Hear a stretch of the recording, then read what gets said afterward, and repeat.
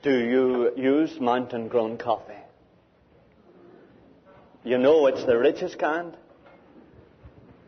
And I've often imagined, and I think I shared before with you, I've often imagined what I would feel like uh, if I were a woman. And that miserable creature of a husband curls up his mouth, you know, and looks down on my coffee. I think I'd just lift the pot and pour it right over his head. Let him go and marry Mrs. Olson if he wants.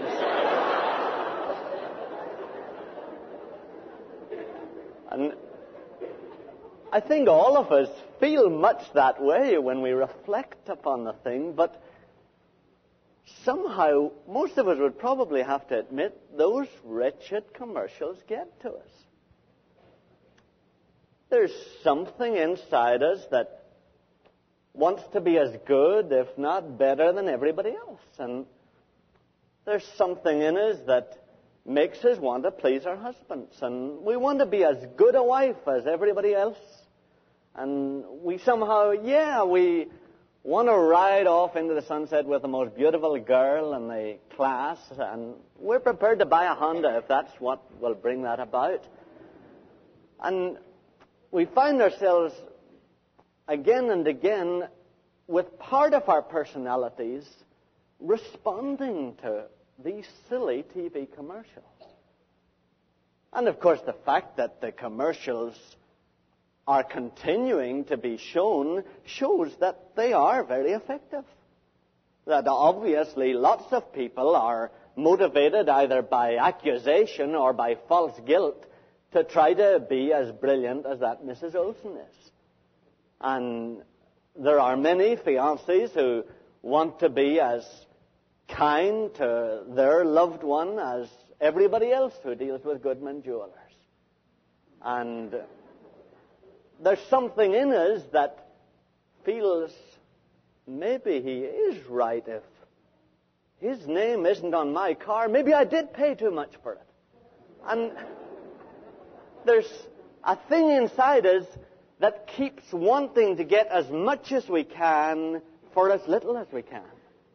And there's something inside us that makes us want to grab as much happiness as we feel the old Constitution says we're to pursue and we have a right to.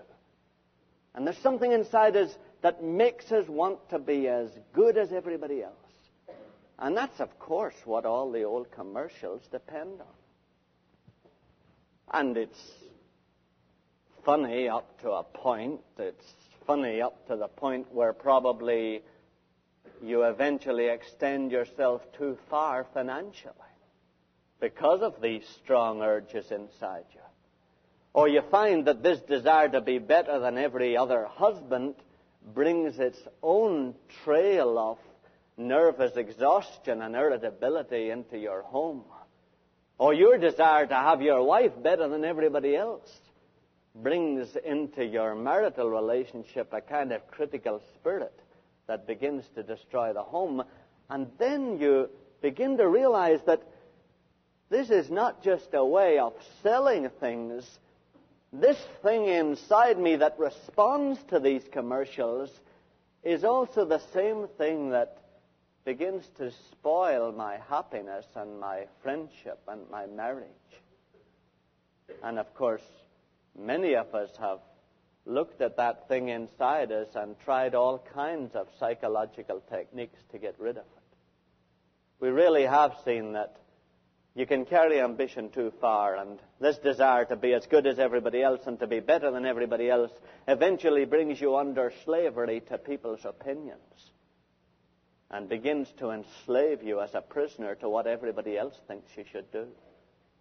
And this desire to really have all the happiness you can possibly get your hands on makes you eventually utterly resentful to any event that comes into your life that is at all inconvenient to you. And you begin to find that these things are inside you and somehow they won't change. And you try the psychological techniques and the power of positive thinking methods, And you try all the systems you can, and yet none of them seem to be capable of changing this reaction that your personality has. And loved ones, I think many of us have found ourselves in that situation. And we just are baffled and really don't know what to do with it. And then it is that many of us at last discover that that's what Calvary is all about. That what God did was take that twisted, perverted personality that keeps on responding in those ways, and He put it into Jesus and He destroyed it there. And any of us who believe that and submit to the Spirit of Jesus is able to be freed from it. And many of us here walk free from those things. But I think many of us here are under them. I think many of you have your life dominated by what somebody will think of you. By what either your boss will think of you, or what your friends will think of you, or what your parents think of you. Many of us are dominated by a desire we must have as nice a house as that other person has who graduated with me from school. Many of us here have a great desire to have things under control. We must have everything under control, and if there's anything that slips out of our control, we get mad and irritated about it. And so many of us, loved ones, I think you'd admit, find ourselves with a personality that is exactly suited to responding to those silly carrots that Mrs. Olson and everybody else holds in front of us. And if that were all, it wouldn't be so bad but we find that that same personality, twisted and perverted as it is, is also the thing that makes it impossible for us to do what we know is right in the world. And so, really, it is a relief for many of us to find that that's what Calvary is about. God took that twisted, perverted personality, put it into His Son Jesus, and destroyed it there. And because of that, it is possible to be delivered from it by the Spirit of Jesus. Now, what we saw last Sunday really was that that was a hideous experience for Jesus himself. An unbelievably macabre experience for him to go through. And it's uh, referred to, loved ones, in Romans 8 and verse 3. Romans 8 and verse 3. It's page 982.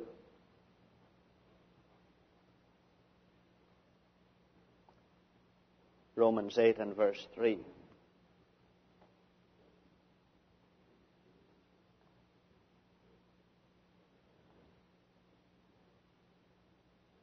For God has done what the law, weakened by the flesh, could not do sending his own Son in the likeness of sinful flesh, and for sin, he condemned sin in the flesh. Now, sin in the flesh is just the independent life inside each one of us that wants to substitute Mrs. Olson's approval for God's approval. Sin in the flesh is that. It's that tendency of all our personalities to want to substitute everybody else's approval and acknowledgement for God's approval and acknowledgement so that we don't have to deal with God. Now, that sin in the flesh is an unmanageable trait in each one of our personalities. It's a trait that you, with all your psychological techniques, cannot control. Now, God took that trait, put it into His Son Jesus, and destroyed it there. That's what it means when it says God condemned sin in the flesh. And so He took the trait in you that wants so badly to ride off into the sunset with the most beautiful girl in the whole school, he took that trait and he put it into Jesus and he destroyed it there. And it is possible because of that for you to be freed from it. Part of it really is this. In Colossians it says, You died with Christ. And the fact is, that after each one of us here in this auditorium is physically dead, you couldn't care less about Mrs. Olson. It won't matter. She can cut down whoever she wants. You don't care about Mrs. Olson. You don't care about who gets the most beautiful girl in the class. Once you're physically dead, those things aren't important. Now, the truth is that God took you and put you into His Son Jesus and destroyed you there so that you can experience the same freedom that you will have in physical death through dying with Christ by faith. Really, that's it. And loved ones, some of us here live in that freedom, honestly. Some of us live here as if we have died physically and we have been delivered from those tremendous desires that seem to govern us and dictate to us while we're alive. Now that's what it means. When it says God condemned that sin in the flesh, He actually condemned it to destruction. He destroyed it. It meant incredible pain for Jesus, you know. There's a verse in the Bible that says, God made him to be sin who knew no sin. Jesus himself was willing to be regarded as worse than everybody else. But he took that tremendous sense of irritation and discontent and restlessness that you and I have often felt when we found somebody else being praised more than we were. He has taken that tremendous sense of restlessness and irritability and discontent and he put it into Jesus. Even though Jesus himself never had that feeling himself, God put it into Jesus and destroyed it there. The terrible sense of loneliness and abandonment that you and I have felt after we've had one of our bouts of self-centeredness or our bouts of selfishness, God took that tremendous sense of desolation and loneliness and abandonment that you and I experience. And even though Jesus never had experienced that himself, God put it into his son Jesus. And Jesus experienced it there. That tremendous sense of discontent that you haven't enough happiness, that you're not happy, and that you're not as happy as so and so is. That tremendous sense of discontent, that tremendous sense of frustration that you felt because of that. God put into His Son Jesus and destroyed it there. In other words, loved ones, everything that you and I have ever experienced, Jesus took into Himself for us and took it through death. And of course, that's part of the problem when we are first become Christians. We receive into ourselves this dear spirit of Jesus. This dear spirit of this man from Nazareth who was willing to be despised and regarded as an absolute criminal, who was willing to be absolutely unhappy in order to make everybody else happy, who was willing to have nothing and to have what he had taken away from him. We have this dear, gentle, beautiful Spirit of Jesus comes into us, and it comes into this roaring lion, this wild personality of ours, that wants all the happiness it can get, that wants to be better than everybody else, that wants to have its own way, whatever it costs everybody else. And that's the conflict that many Christians feel. They feel the spirit inside them of this dear Jesus struggling against this personality that they have. Now, loved ones, the truth is, that God took that personality of yours that is so miserable and He put it into His Son Jesus and He destroyed it there. And you don't need to live under that. You don't need to live a slave to that. And it's important to see, you know, that God did it not for the whole world. Because the verse that we're studying today says, God gave up his Son for us all. And it's vital for you as you sit there to see that God did not do that for the fella beside you or the girl beside you, and not for you. God did not do this with a great satanic power of evil that you found exhibited in Hitler or in Joe Stalin. God has done it for you. God took your personality, that miserable little dried up thing that is such a burden to you and that is such a burden to all your friends. He took that, loved ones, and he put it into his son Jesus, and he destroyed it there. If you want to know what it cost, would you let your son pay a $500 fine if it would free some of us here? Now, would you let your son serve a year's prison sentence if it would free one of us here? Now, would you let your son experience the consequences of venereal disease and gonorrhea if it would cure one of us here? Now, the last is the nearest to the truth. The last intensified a billion trillion times is what Jesus endured for you and me. Loved ones, the very worst that you have ever produced, God put into his son Jesus, who was not like that at all himself, and destroyed it in death so that you could be freed from it. And you know, was it just Jesus? It wasn't. If a father and son were close together, it was Jesus and the Father. Your father and my father, they're poor copies of what the Father in heaven was. You remember Jesus said, I and my Father are one. I can't do anything apart from my Father. And you remember the Father himself said, This is my beloved Son in whom I'm well pleased. This is really the apple of my eye. And we need to see, you know, that it was the Father who was sacrificing. It was the Father who loved that gave a Son for this purpose.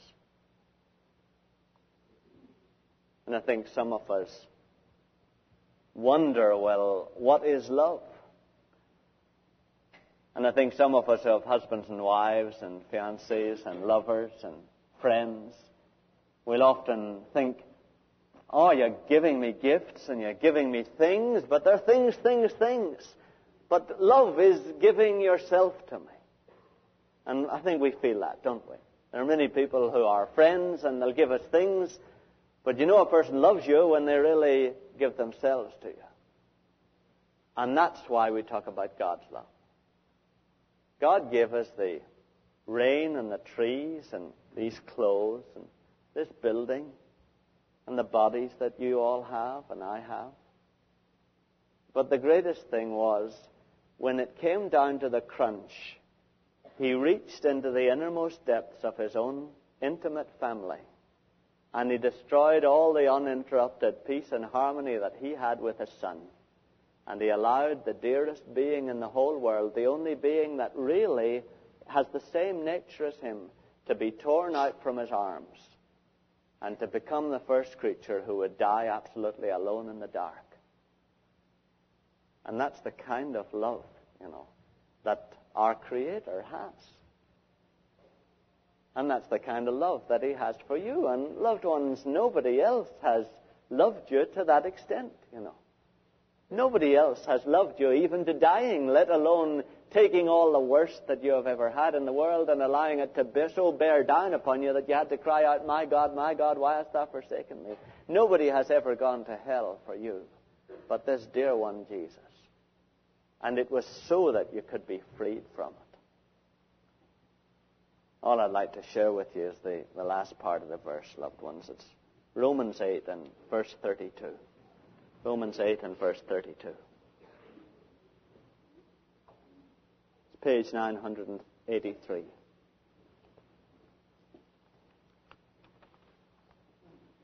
He who did not spare his own son, but gave him up for us all, will he not also give us all things with him?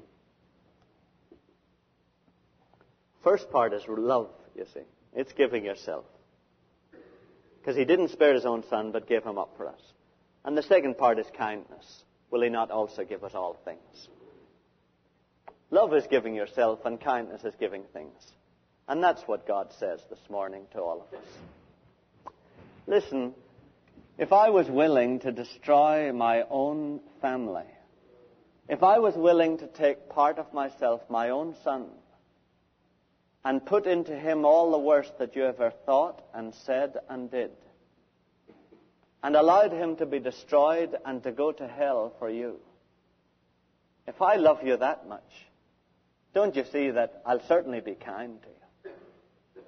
If I love you that much, I'm certainly going to give you what things you need. And really, that's it, ones. Surely the Father who gave Himself and His own Son for us, surely He's going to give to all of us all the things we need. You know, some of us have a tendency to say, yeah, but sometimes He hasn't come through for me.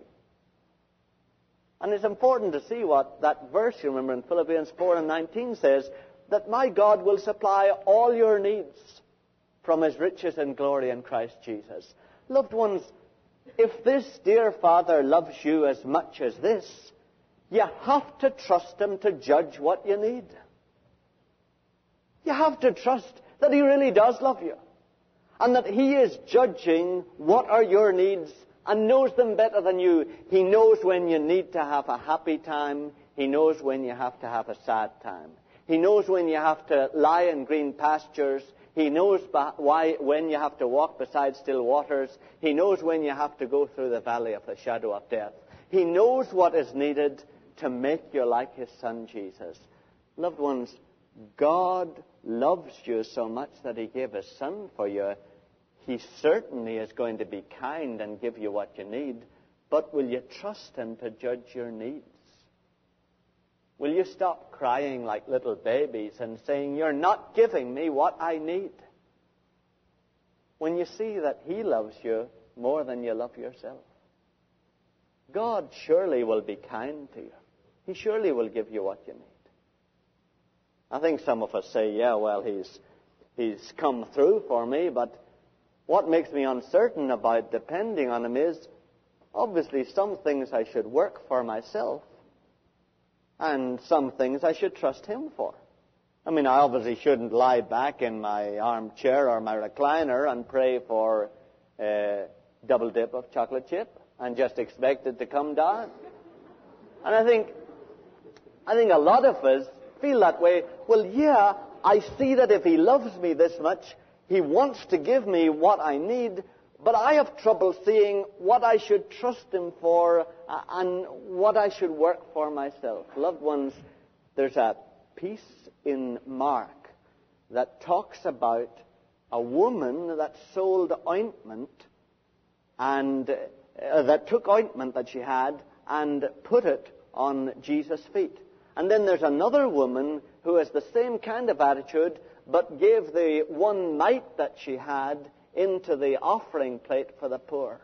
And then the line of the scripture goes, she did what she could. You're to do what you could. You're to do what you can. You're to work as hard as you can. We're to study as hard as we can. We're to plan the finances as wisely as we can. We're to do everything we can to ensure that the children have the right upbringing. We're to do all we can to keep the car in running order. But after we've done all that we can, we've to remember my Father is watching and He loves me so much that He split up His own family for me he loves me so much that he took the worst that I ever had in my heart and put it into his dear son's pure heart. My Father is going to come through for whatever I can't meet. Loved ones, after you've done it all, you have to go to bed quiet and free from anxiety and worry. Sure, you have to work, but you have not to be anxious. You have to work, but you have not to worry. Because this God, who did not spare his own son, but gave him up for us all, will he not also give us with him all things? The truth is, he will. Your father won't let you down. Your father, who gave you this body, won't let you down. How does your heart keep beating? Can you tell? You're a genius if you can, because no medical person can tell why the heart keeps beating. Nobody can tell why it keeps beating. Can you tell how all the protons and neutrons in your body hold together? You're a genius if you can, because nobody else can tell. Do you see that what you and I are at this moment is totally dependent on somebody else's love? We can't even explain what we have at this moment. Loved ones, will He not give you everything that you need? And the truth is, He will. You know. The truth is, He will. If He loves you as much as He's done in His Son, He loves you enough to supply you with what you need day by day. And He expects you to trust Him for it. I would say to, you know, somebody here has trouble with a bank account. Somebody here is troubled about a sickness that they just don't know how to deal with. Somebody else here is troubled about what they're going to do with that son of theirs. Loved ones, is it not true that this dear Father, who started the whole thing at the very beginning and has demonstrated his love so clearly to us in his Son, is it not true that he, it's in his interest to give us? It's in his interest to preserve his investment. He's already invested so much in us that he has no intention of letting us go without. Then I'd ask you, have you had all your needs met? We're all alive here.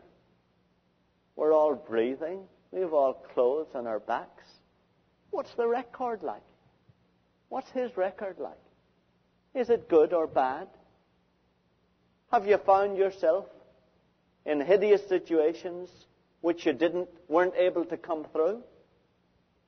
Well, how did you get here this morning? All of us have come through. Because the Father calculates everything carefully and supplies just what we need to make us like His Son. He's just a good God. Let's pray. Dear Father, we thank you for such a plain statement backed up by the world's history and by our own personal history. That you who did not spare your own son, but gave him up for us all, you will also give us all things with him. Thank you, Father. We apologize, Father, for the nights we've been restless in bed with worry. We apologize, Father, nervousness and the anxiety that we've had. Lord, we thank you for this beautiful world. We thank you for your love. We thank you that you are not a God that just gives us things, things, things, but you have given us your very own self. We thank you, Lord. We intend to live this week in peace like people who have a loving, trusting Father looking after them. And now the grace of our Lord Jesus and the love of God and the fellowship of the Holy Spirit be with each one of us now and throughout this coming